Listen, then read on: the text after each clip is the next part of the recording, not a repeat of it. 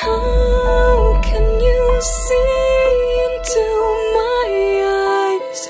Like open